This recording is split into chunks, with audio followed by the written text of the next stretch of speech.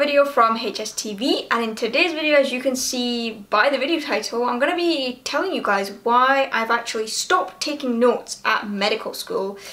I think this is quite a big moment on the channel actually because we've done a lot of note taking. A lot of the videos that I've done really well on the channel have been all about note taking. You know I've reviewed so many note taking apps on Android and we love the Tab S7 Plus as well.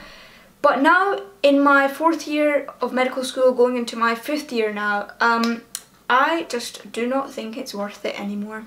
For you to understand why I've stopped taking the notes, we have to go back to about almost a year actually. When I started fourth year of medical school, I was going in with the same study techniques that I used in year one, year two, and then in my intercalation year as well. Now, the problem that I faced during my first semester or fourth year was not only was it difficult to manage placement and studying, but actually the actual workload of uh, knowledge uh, that I had to cover was a lot, uh, a lot more than what I was used to. Um, I'm talking like this was over 240 conditions that I had to nail down. Um, the causes for, the presentations for, the investigations, the managements, and then, you know, you have all these exceptions that come with things as well, with drug side effects and age groups, and there's just a lot of things uh, that you just don't realise when you're in year one and two and in your preclinical years. So when I went in with the same technique and I was watching the university lectures and then I actually switched from doing handwritten notes to typed notes in the semester one as well. So that was one little change that I made. Um, I switched over to Notion, just taking some typed notes from the lectures I was watching. When it got to the December mock exam, um, I didn't do as well as I wanted to at all actually and I just felt my entire semester one was very chaotic. It was hectic and looking back there was a lot of things that I needed to change. So came semester two and I became determined to try and learn from my mistakes in semester one. And you know it just goes to show that actually medical school is a journey. It is a lifelong learning journey. You will make changes you'll make mistakes you'll learn from those mistakes. And actually you come out being a more efficient more productive learner. It's part of your personal development. So definitely don't be disheartened if this happens to you as well. But I'm here to share my experience to try and save you from some of those pitfalls if possible so semester two came along and I realised that when I was note-taking, all I was doing was copying information from one place to another, from lecture slides into Notion. And you know what? In an ideal world, if I had all the time in the world um, to learn medicine, I would probably create my own database of notes that I could refer to. You know, I definitely agree that stuff that you write with your own hands and you write, um, you know, whether it's handwritten or typed, it does go in better. You do process it a bit better and um, when it comes to kind of looking up things, you'll know exactly where to go because you've written it. However, one of the dangers with this style of note-taking is that you are likely to zone out, and especially when you have so much information thrown at you, um, it's very common to just start copying things. And at medical school, this is not an efficient way to learn and this kind of method will ultimately lead you to failure. You will struggle and you know studying will become a lot more challenging. So um, I turned my head more towards the active ways of revising. I said to myself at the start of semester two that I need to treat every day as if I'm revising for an exam. It's just a difference in mindset, to be honest with you. Um, in semester one, uh, I, it was all about, yeah, I'm going to do the note taking, but then actually I just didn't have any time left to properly revise the material or go over it again. So at the start of semester two, I said, actually, every single day is going to be like I'm revising material. I'm going to actively try and recall it. I'm going to actively learn it so that if someone's testing me on it, I'm able to actually regurgitate that information rather than oh yeah, I wrote notes about this, and then actually that's not helpful for your knowledge exam at all. So what I started to do is set myself some goals. Again, something I didn't do in semester one. Semester one, I was almost like, where do I even begin revising, right? But then in semester two, I said to myself, I want to have covered the entire course by like February time. And that gives me another good two or three months to go over things again.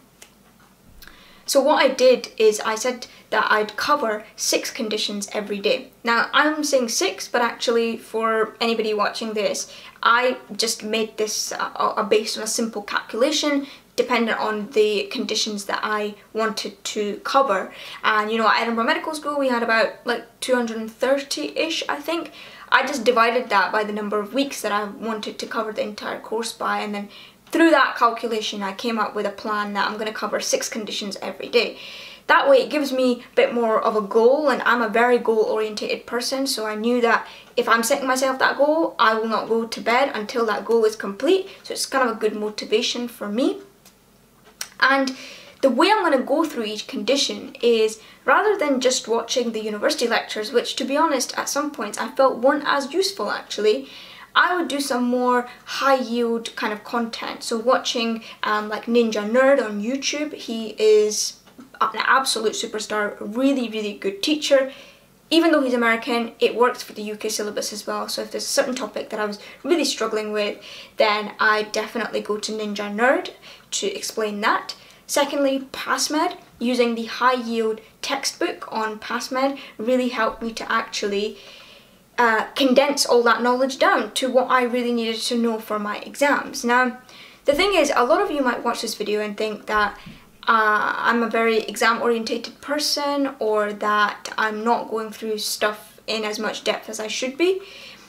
Um, guys, the truth about medical school is exams are a thing and in order to progress you have to sit those exams ultimately the thing that's going to make you a good doctor is your passion and that stuff that you do outside of medicine um, what you try and gain on placement and how you take initiative in those activities. But when it comes to the knowledge part at medical school unfortunately it does come down to just learning material and making sure you're able to recall that information on the day of your exam. It's just the way medical school is um, made in the UK at least, and I think over the all over the world as well. And perhaps that's something we need to change. But for now, that's the methods that work. So yeah. And then on PassMed as well, you have questions. Questions are so, so useful. The PassMed question bank is pretty good. We also here at Edinburgh use something called Peerwise where our peers make questions. So I used a bit of that as well. Also the university gave us some really useful quizzes to do um, and that gave me a good idea of the sort of knowledge level that's expected of me for my exams at my university. So definitely look out for these things at your university as well. But um, other resources that I used was Anki. Now, Anki can be a bit hit or miss. In the past, I've used it, left it, I've liked it, not liked it. I think Anki, it's the sort of thing that making the flashcards is a bit time consuming, so you have to make sure that you make them at an appropriate time that's not too close to exam season. But then actually to use the cards that you make as well. A lot of people will just make the cards and they'll just sit there that's not useful but Anki was a pretty good way I think for me uh, for the four main specialties so cardio, neuro, resp and GI I made Anki decks 4 covering all the main learning outcomes that I needed to know. I think Anki was quite a good thing to do on the go so like on the bus or like just like on and off um, it was a good thing to just keep going over in my uh, spare time. My focused revision was definitely through PassMed though, and that was the main resource that I used. Now, of course, I wasn't taking all of these in-depth notes uh, on my Notion anymore. However, what I did feel there was a need for and something I couldn't fully grasp on PassMed was some summary notes. And you know, I love making these summary posters. Back in year one and two, I used to do them handwritten and they looked a lot nicer and more aesthetic. They made me want to study them Year 4 I didn't have quite as much time to do all the, that handwritten summary mind map stuff.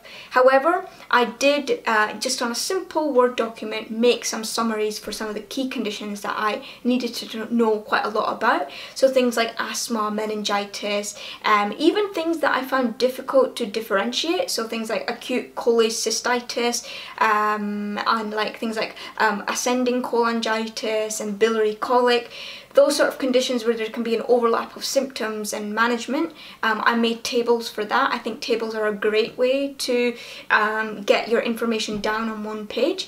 Um, also for infectious disease, I found that that worked quite well, just having the investigations and the management for each of the infectious diseases that we needed to know. Because again, antibiotics and that sort of infectious disease management is something I find quite tricky. So I decided to make a table for it for me as a visual learner, seeing that information spread out on a piece of pa paper was really useful because sometimes even on PassMed you have to jump between pages and it can become confusing. So although there was no in-depth notes, there was certainly some summary notes that I'll definitely be referring to, I'm sure even past my degree as well. So, all in all, I'm not saying that notes are a horrible thing to do. However, for me, at my clinical years of medical school now, I think that it's just not worth it anymore. Other than the summary notes I've spoken about, I think that medical school revision has to be a lot more active. It has to be quite proactive actually. You need to be in that studying mindset. Having goals really helps to motivate you and keep you on track especially because university is so much more self-directed. Um, it's important that you are covering things when you should be covering them and leaving enough time for you to go over things again. You know um, if it wasn't for these goals I might not have finished the course in February. It might have taken me a lot longer and then actually delayed that revision process end of the day with medical school because there's so much information that you have to just know um, a lot of it does become memorization however what I have felt is that the more stuff you memorize, the better links you are able to make when you're learning other things. It's a bit of a confusing thing, maybe um, maybe I'm not able to put it into words properly, but um, it does help you and uh, it help and when you start making those links, you become a better learner and it helps things to become easier to understand. So I hope that makes sense and it gives you a bit of an update. Um, obviously I made this video uh, you know, I, I started, st I stopped taking notes like maybe five months ago, but I wanted to give myself that time to actually trial this method and actually um, you know, see if it would give me any success or not. And obviously I have now passed my fourth year. I did much better in my second formative as well. So I felt that this method is working and it's something important for me to share with you guys. Um, so I hope this has helped. Uh, do feel free to use some of these resources that I've spoken about today. I think they're really good and if I do make more changes, although it can be scary to make these changes, I will definitely keep you guys updated. Let me know what method you use down in the comments and I'll see you all in my next video. Goodbye.